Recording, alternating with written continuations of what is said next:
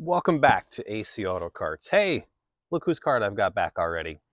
I've got Edwin's cart back because Roykaw reached out to me and asked if I wanted to test some of their products. And one of the products they asked me about was some armrests.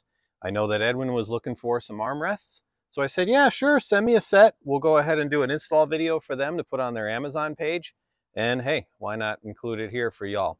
So they did send this to me. Um, we'll go ahead, open it up, install it real quick, and that'll be the video. Let's get started.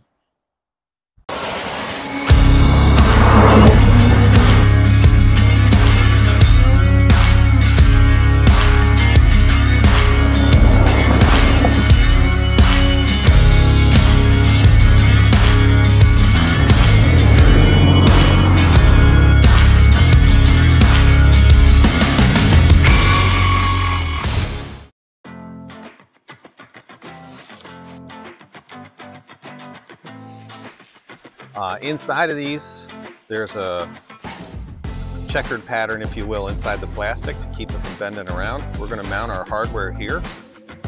So installation instructions are pretty cut and dry.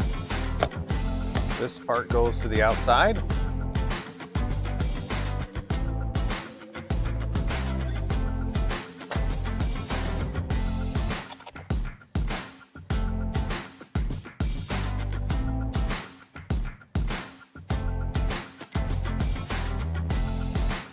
Looks like it's a 10 millimeter and a 10. They're two 10s. Well, let's just clean them up. I got some fingerprints on them. Oh, so nice. Thanks for watching our video on how to install the Roykaw rear seat armrest slash cup holders.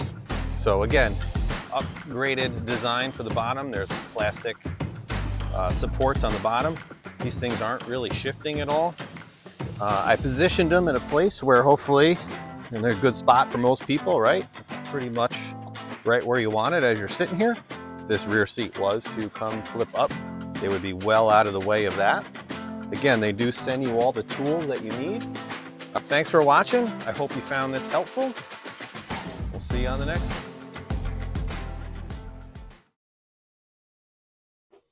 So I guess this means we have a sponsor now. Anyway, quick one, quick video. So got these cup holders in. Again, Edwin was looking for some anyway, so this worked out pretty cool. Um, we do have a couple of things coming up for you guys. I had another company reach out to me too to ask if we wanted to try a light kit, but I don't currently have a club car precedent that I need it for. So we're talking to them. So look for that in a future video. Um, pretty cool.